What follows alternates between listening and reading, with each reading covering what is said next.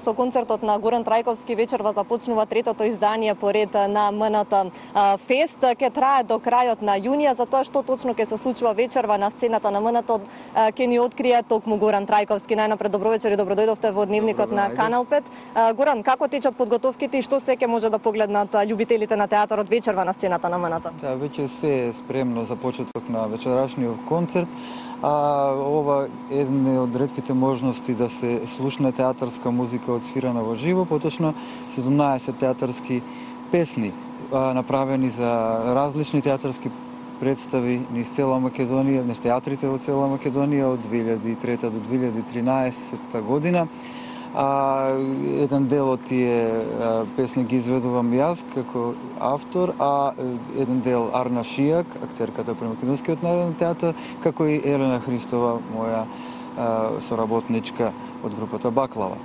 А, придружува оркестар од 12 различни музичари од Македонската опера Балет и Хармонија, мои пријатели, театарски композитори и соработници, значи една поголема екипа за прв пат се представувам пред македонската публика. Така, освен тоа предпоставам дека има и богата програма и оваа година на МНТ Фест.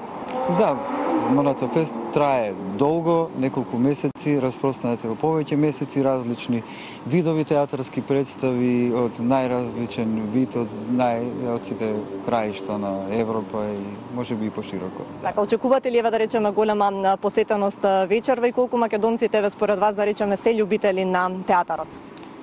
А, театрите функционираат успешно веќе со децении во Македонија.